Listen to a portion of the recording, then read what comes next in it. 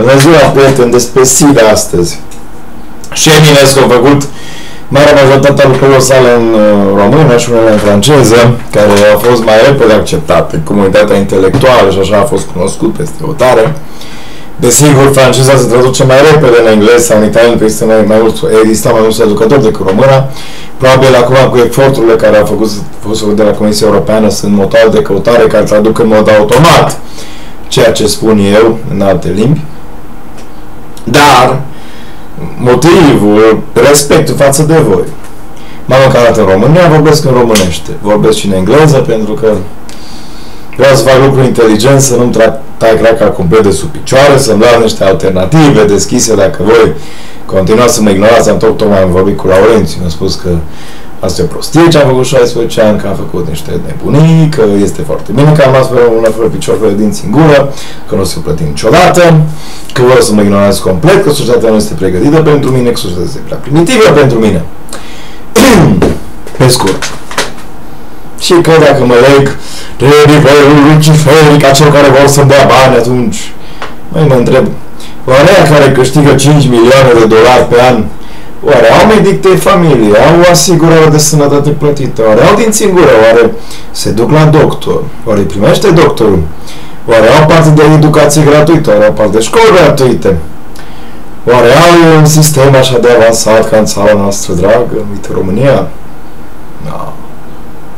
Eu cred că beneficiază niște doctori mult mai buni profesori, mult mai buni pe care îi plătesc. Și cu toate astea le rămân milioane de dolari. Da. Și muncesc. Și produc și trăiesc într-un sistem eficient și corect.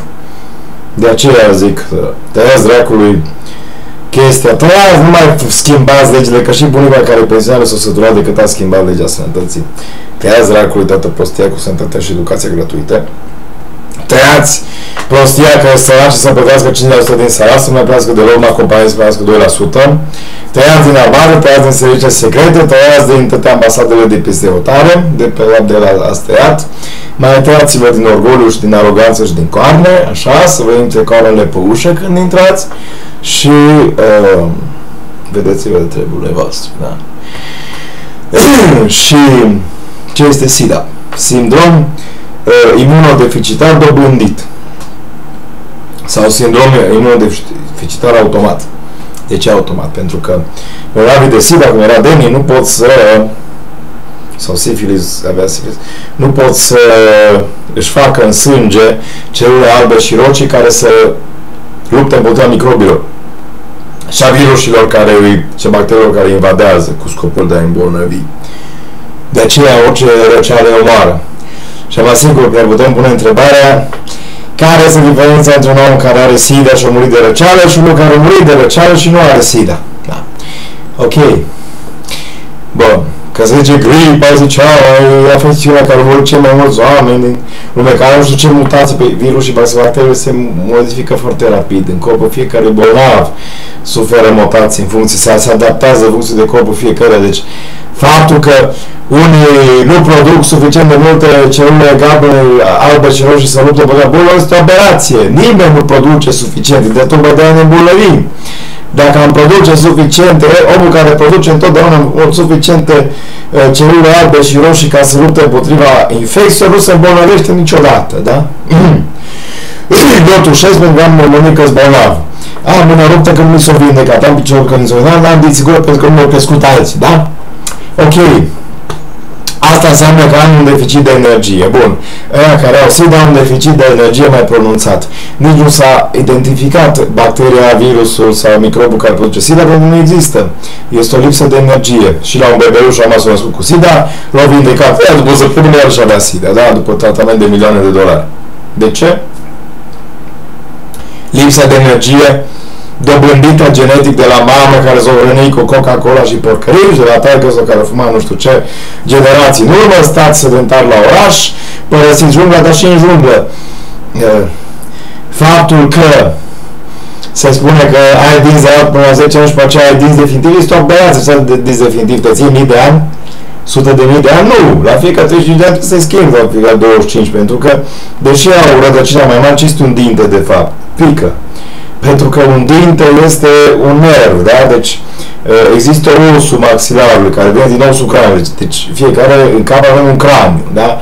Ăla e os. Osul este poros. Prin os pot să intre și intră vase de sânge și nervi. Și deasupra osului este carnea și deasupra carnei este pielea, da? Și sunt mușchi și sunt diferite alte țesuturi. Ei, pe acest strat poros numit os și de aceea este și osteoporoză, care este o operație, că fiecare dintre noi avem oasele poroase, unii au mai poroase și mai fragile decât alții, dar asta nu înseamnă că aia este o boală produsă de un virus, aia este o condiție, da? Așa cum avea, avea cancer, este o condiție, pentru că tu ai, ai fumat până ai nebunit, ți s-a rupt plămâniul și atunci organismul a venit și a făcut deasupra un cocon de cele să protejeze zona, să nu mor. Și acolo ai cancer, da? Bun. Uh, și uh, la fel și cu cealaltă boli. Deci, te masturbezi, ai o viață nesănătoasă, ai o viață sexuală nesănătoasă, trăiești într-un mediu nesănătos, bași chimicale în tine în fiecare zi, te obosești, te stresezi în fiecare zi, prin urmare, te îmbolnăvești și mori. Înțelegi? E foarte simplu. Deci, uh, dinții cresc, dacă se crească am de energie, că și când ți-o crescut prima când aveai, când erai mic, ți-a crezut că aveai energie și te mișcai și mergeai pe afară și te jucai cu copiii și nu te interesa de bani și averi și calate și nu știu ce, da? Și de bani și de rate și de mama dracului și de ce au spus dobitoc ăla și dobitoc aia și de ce mă urla bunica ăla și de ce povestește foarte repede mămătușa că nici nu pot să o observ și povestește de de Deci nu te-a interesat ce-o zis muierile, nu te-a interesat să fuzi muier, deci nu te-a interesat chestiile astea, da? Bun.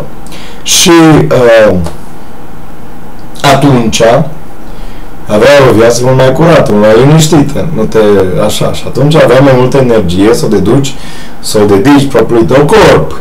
Nu te interesa să se salvezi lumea și așa mai departe, da? și atunci îți creșteau dinți, da? Cum de ce nu-ți mai crezi dinți? Pentru că e foarte simplu, dacă ai trăi în junglă, de aceea se spune că îți definitiv, că în Evul Mediu oamenii trăiau vreo 30-35 de ani, după aceea mureau acum sau erau aș pe rug, sau tăiați în bucăți, sau îi se tăia capul, sau erau în război omorâți, sau prindea o ciumă și omora, sau murea, pur și simplu, de bătrâni, murit handicap ruptul la 35 de ani, că nu mai avea energie după ce au futut 8 neveste și 20 de amante, da? Și au murit, da? Și dacă ai suficientă energie, energia se, nu, nu te mai masturbi, nu mai faci sex, nu mai duci viața nesănătoasă, energia încet, încet vine și îți animă corpul și atunci nu mai nici sida, nici cancer, îți crezi din nou din singură, pentru că dintele este un nerv care în jurul lui și-a format dentină și acea smalz. Și asta e un proces energetic care ia multă energie, da? Se produce un os. Și pică, trăiește în junglă, nu știu ce ăsta, Că asta este o aberație, că spui în ziua asta s-a mâncat de storia, dar ce ne s-a întors în junglă, când trebuia oasă și craci, și, adică crânci și rădăcini să rozi între dinți, da? Atunci roții să rupeau dinți, bați să rupeau mai mult, da?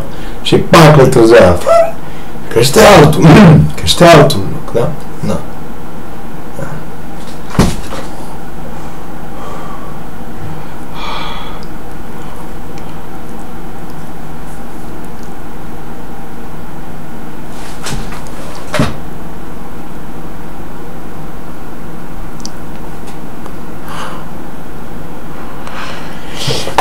Sida nu este o boală, nici cancerul nu este o boală. Goodbye.